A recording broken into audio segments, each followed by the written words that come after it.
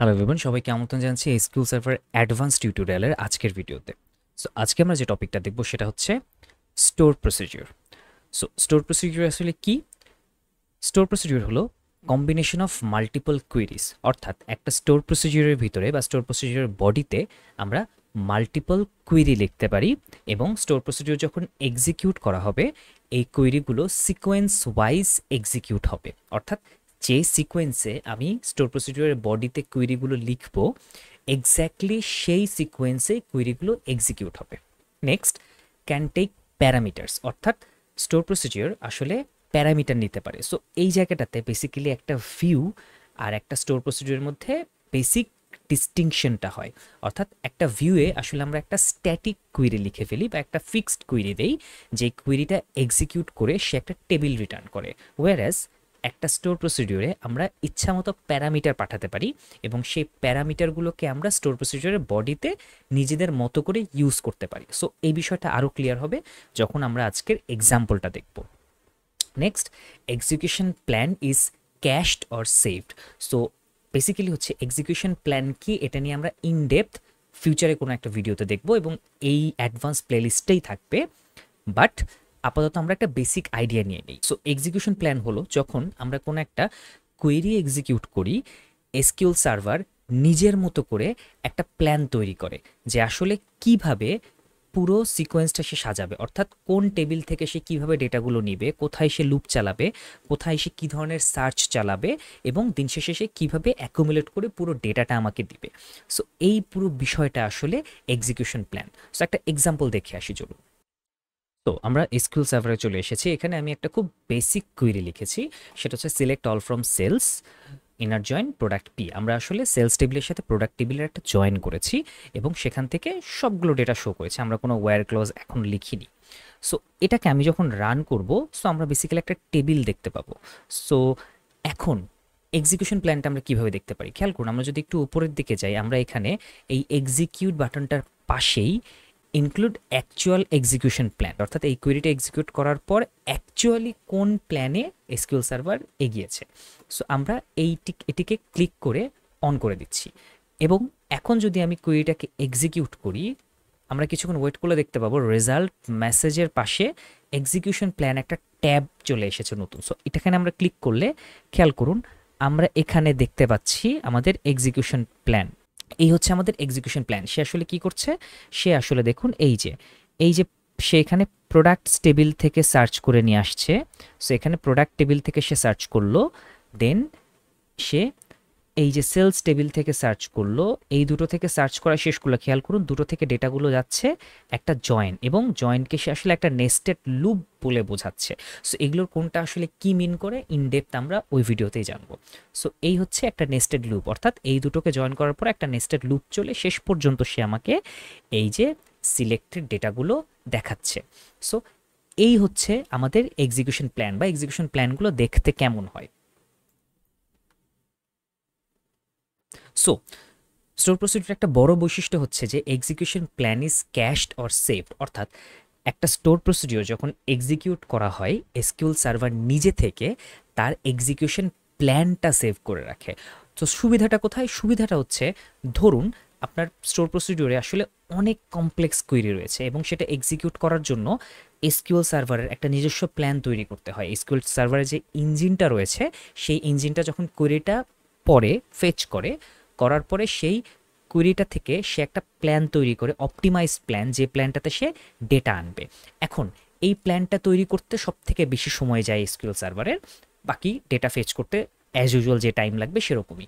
So খেয়াল করুন, আপনি প্রতিবার যদি কমপ্লেক্স কুইরিটা এক্সিকিউট করতে থাকে, থাকেন এবং প্রতিবারই যদি এসকিউএল সার্ভারকে নতুন করে বারবার এক্সিকিউশন প্ল্যান তৈরি করতে হয়, এই ব্যাপারটা তার জন্য খুব সমস্যা। সুতরাং এসকিউএল সার্ভার যেটা করে একটা স্টোর প্রসিডিওর যখন প্রথমবার এক্সিকিউট করা হয়, সে সেই এক্সিকিউশন প্ল্যানটাকে সেভ করে রাখে এবং সেই এক্সিকিউশন প্ল্যানটাকে সে নেক্সট টাইম যখন স্টোর প্রসিডিওর এক্সিকিউট হচ্ছে, সে আর নতুন করে এক্সিকিউশন প্ল্যান তৈরি করে না। সে সেই সেভড বা ক্যাশড এক্সিকিউশন প্ল্যানটা নিয়ে আসে এবং সেই অনুযায়ী রান করে। ফলে স্টোর প্রসিডিউরকে যখন প্রথমবার রান করা হয়, সেটা আসলে একটু বেশি সময় নিলেও তার পরের বার থেকে সে বেশ অনেকটা কম সময় নেয়। সো স্টোর প্রসিডিউর ব্যবহার করার এটা একটা বড় সুবিধা। তাই প্রোডাকশন লেভেলে চেষ্টা করা হয় সবসময় একটা কমপ্লেক্স কাজ যদি করার প্রয়োজন পড়ে, যেখানে মাল্টিপল কুইরি ইনক্লুডেড হতে পারে, সেখানে সবসময় চেষ্টা করা হয় স্টোর প্রসিডিউর ব্যবহার করতে।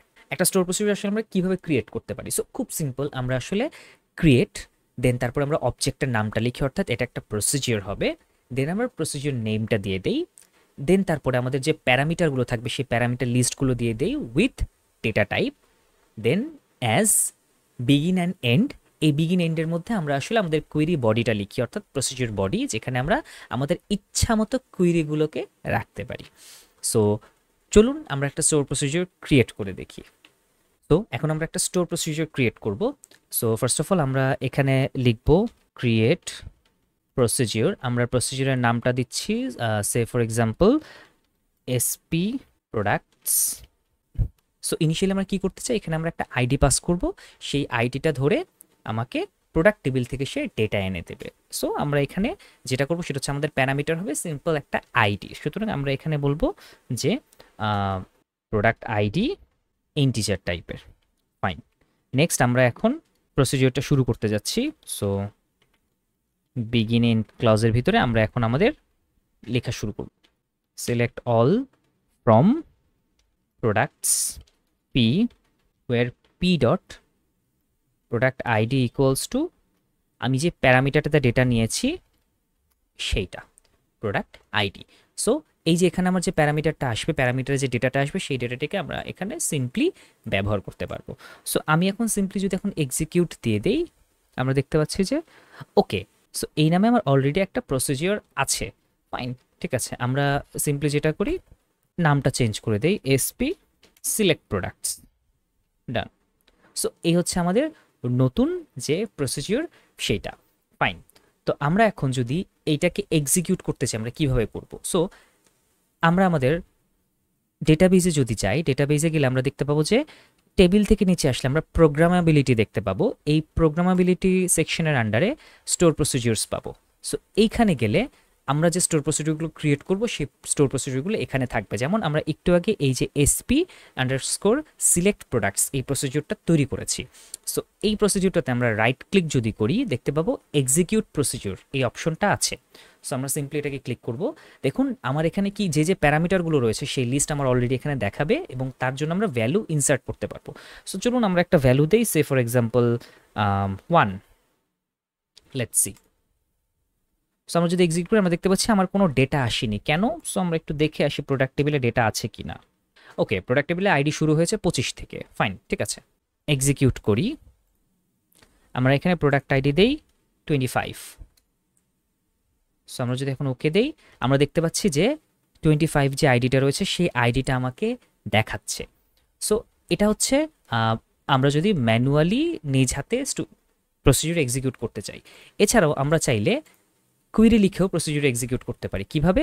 যেমন সিম্পলি আমরা এখানে লিখতে পারি এক্সিকিউট যে কিওয়ার্ডটা রয়েছে এক্স্যাক্ট এক্সিকিউট দেন আমরা প্রসিডিউরের নামটা দিব। প্রসিডিউরের নামটা হচ্ছে SP select products okay so যেহেতু এসকিউ সার্ভার আসলে কেস সেন্সিটিভ না, সুতরাং আমরা নেমটাকে ছোট, বড় যে কোনো হাতেই লিখতে পারি। So execute store procedure then আমরা সিম্পলি এখানে প্যারামিটারগুলোকে কমা কমা দিয়ে লিখে ফেলব। সো আমাদের যেহেতু একটাই প্যারামিটার, আমরা এখানে টোয়েন্টি ফাইভ লিখে দিচ্ছি। সো আমরা যদি এটাকে এক্সিকিউট করি, আমরা দেখতে পাচ্ছি যে আমরা একটু আগে যে রেজাল্টটা পেয়েছিলাম সেটাই পাচ্ছি। অর্থাৎ টোয়েন্টি ফাইভ আইডির যে প্রোডাক্ট রয়েছে, সেই প্রোডাক্টটার ডিটেলস আমরা পেয়ে যাচ্ছি। সুতরাং আমরা চাইলে এখান থেকেও এক্সিকিউট করতে পারি অর আমরা এভাবেও প্রসিডিউর এক্সিকিউট করতে পারি। ইউজুয়ালি আমাদের কোয়েরি ইউজ করে প্রসিডিউর এক্সিকিউট করার ব্যাপারটাই বেশি হয়ে থাকে, যেহেতু সফটওয়্যারের থ্রুতে আসলে ম্যানুয়ালি এই কাজটা করা সম্ভব না। একটু আগে আমরা বলছিলাম যে একটা স্টোর প্রসিজিওরের আসলে একটা বৈশিষ্ট্য হচ্ছে যে সে ক্যাশ করে রাখতে পারে এক্সিকিউশন প্ল্যান। সো চলুন আমরা এখন একটু আসলে দেখি যে সে প্ল্যানটা কীভাবে সেভ করে রাখে বা ক্যাশ করে রাখে। তো আমি এখানে একটা কুইরি লিখেছি। এই কুইরিটার বা এই স্ক্রিপ্টটা আসলে আমার ডেসক্রিপশনে দেয়া থাকবে।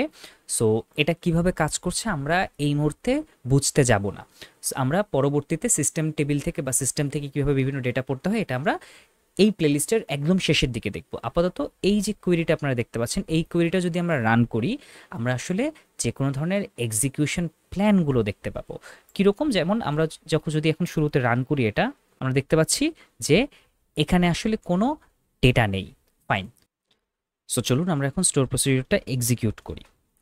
ফাইন সো আমরা এখানে লিখব এক্সিকিউট এসপি সিলেক্ট প্রোডাক্টস আমরা এখানে আইডি দিব টোয়েন্টি ফাইভ সো খেয়াল করুন, আমরা যদি এখন এটাকে রান করি, আমরা ডেটা দেখতে পাচ্ছি, এবং আমরা যদি এখন এই কুইরিটাকে রান করি, খেয়াল করুন, একটু আগে আমাদের এখানে কোনো ডেটা দেখাচ্ছিল না, অর্থাৎ এই যে এক্সিকিউশন প্ল্যান সেখানে কিছু ছিল না বাট এখন আমরা দেখতে পাচ্ছি যে এখানে একটা এক্সিকিউশন প্ল্যান সে সেভ করে রেখেছে, এবং এটাকে যদি আমরা একটু অন করি, আমরা দেখতে পাবো যে এখানে এক্সিকিউশন প্ল্যানটা হচ্ছে এই যে দেখুন প্রোডাক্ট টেবিল থেকে সে সিম্পলি ডেটা নিয়েছে। সো এই হচ্ছে এক্সিকিউশন প্ল্যান আমরা যদি একটু জুম করে দেখি, এটা একটা এক্সিকিউশন প্ল্যান সো এই এক্সিকিউশন প্ল্যানটাকে এসকিউএল সার্ভার আসলে সেভ করে রেখেছে। সো এখন প্রশ্ন হচ্ছে, এই যে আমরা প্রসিডিওরটা এক্সিকিউট করলাম, এখানে সে এক্সিকিউশন প্ল্যানটা সেভ করে রাখল এটাকে সব কুইরির জন্য করে কিনা? যেমন, এই স্টোর প্রসিডিওরটা কিন্তু সিম্পলি আসলে এই কুইরিটাকে এক্সিকিউট করে। সো আমরা যদি এইটাকে এক্সিকিউট করি, আমরা সেম রেজাল্ট পাচ্ছি। এখন আমরা যদি এক্সিকিউশন প্ল্যানগুলো একটু দেখতে যাই, আমরা যদি এটাকে রান করি, আমরা দেখতে পাবো যে প্রসিডিওরের জন্য আমার এক্সিকিউশন প্ল্যান তৈরি হয়েছে। সো আমরা শুধুমাত্র প্রসিডিওর না, আমরা যত এক্সিকিউশন প্ল্যান ক্রিয়েট হচ্ছে সব দেখতে চাই। সো আমরা নিচের ওয়্যার ক্লোজটাকে কমেন্ট করে দিচ্ছি প্রসিডিওরটা এক্সিকিউট করলাম, এবং আমরা যদি আমাদের এক্সিকিউশন প্ল্যানটার দিকে দেখি, আমরা দেখতে পাবো যে, এখানে এই যে দেখুন ক্রিয়েট প্রসিডিওর এটার জন্য, আমার প্রসিডিওরের জন্য যে এক্সিকিউশন প্ল্যান সেটা তৈরি হয়েছে। সো এটাকে যদি আমি আরও কয়েকবার রান করি, আমি দেখতে পাবো যে, এই যে দেখুন সিলেক্ট অল ফ্রম প্রোডাক্টস এই যে আমার কোয়েরিটা রয়েছে, এই কোয়েরিটার জন্য সে একটা এক্সিকিউশন প্ল্যান তৈরি করেছে। এটাকেই আমি যদি এখন বারবার এক্সিকিউট করতে থাকি, এবং একটা টাইমে আমরা যদি আমাদের কোয়েরি প্ল্যানটা দেখি, আমরা দেখতে পাবো, খেয়াল করুন, আমরা multiple time same execution plan দেখতে পাচ্ছি। অর্থাৎ এসকিউএল সার্ভার এই কোয়েরিটার জন্য মাল্টিপল টাইম এক্সিকিউশন প্ল্যান তৈরি করেছে এবং নিজের কাছে রেখেছে।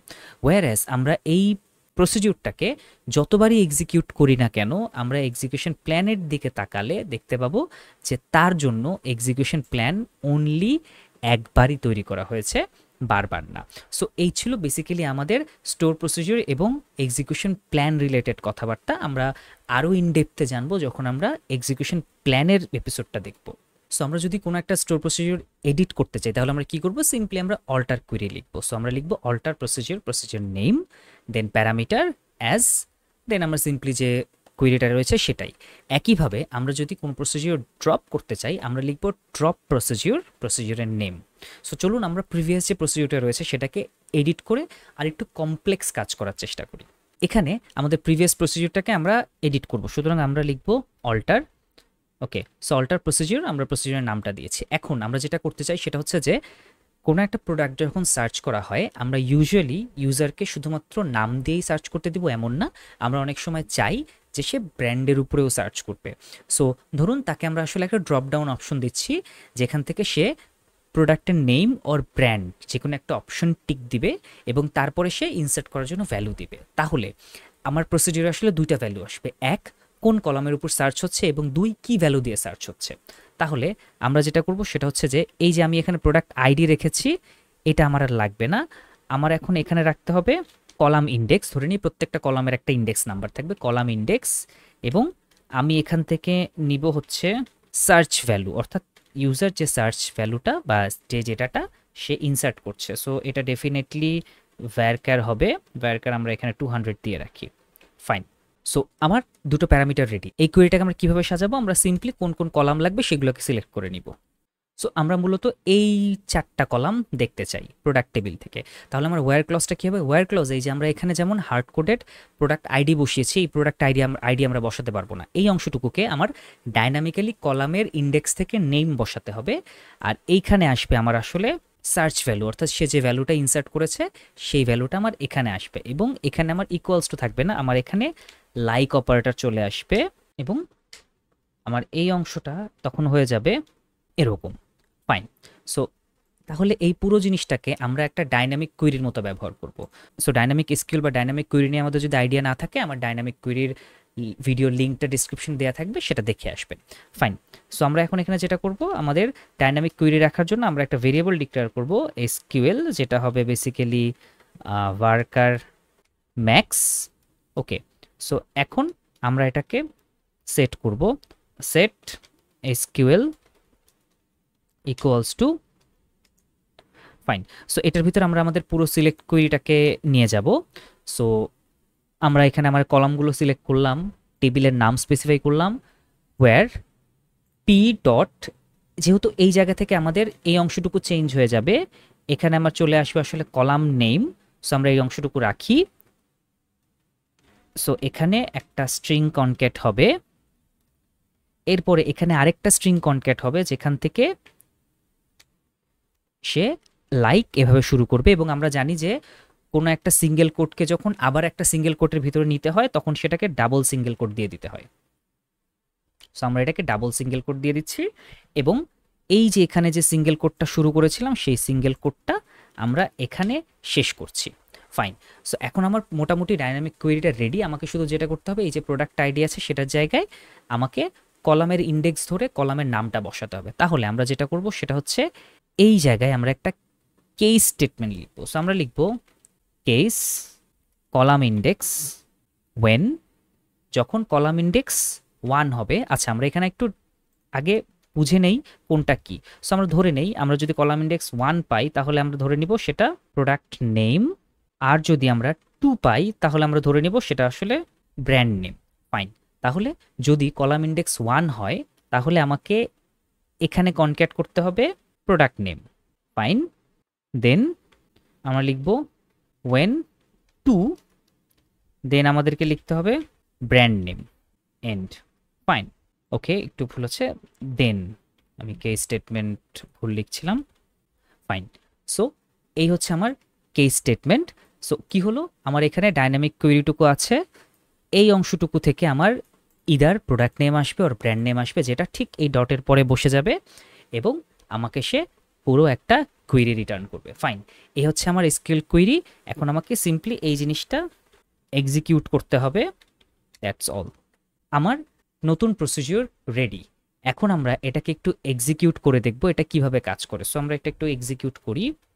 Execute SP underscore select products সে প্রথম প্যারামিটারটা নিবে হচ্ছে কলাম ইন্ডেক্স সো আমরা ধরে নিই যে আমরা প্রথমে প্রোডাক্ট নেম দিয়েই সার্চ করব। কলাম ইন্ডেক্স অ্যান্ড নেক্সট প্যারামিটারটা হবে হচ্ছে অ্যাপল বা অ্যাপল রিলেটেড কিছু একটা। সো আমরা যদি এটাকে এক্সিকিউট করি, আমরা দেখতে পাবো কোনো ডেটা পাচ্ছি না। ওকে আমরা এখানে লজিটেক দেই। আমরা এখানে কোনো ডেটা পাচ্ছি না। সমস্যাটা কোথায়? আচ্ছা ওকে সো এই যে দেখুন, এইখানে আমি এই যে সার্চ ভ্যালু এটাকে আসলে স্ট্রিংয়ের ভিতরে ঢুকিয়ে দিয়েছে। সো এটা একটা স্ট্রিংয়ের মতো বিহেভ করছে। সো এটা এভাবে কাজ করবে না। তাহলে আমরা যেটা করব, সেটা হচ্ছে যে আমরা লাইককে এখানে, আমরা লাইক এই পার্সেন্ট সাইনকে রাখব। দেন এখানে একটা স্ট্রিং এন্ড করব। এখানে সার্চ ভ্যালুটা থাকবে। তারপর আমরা আরেকটা স্ট্রিং স্টার্ট করব।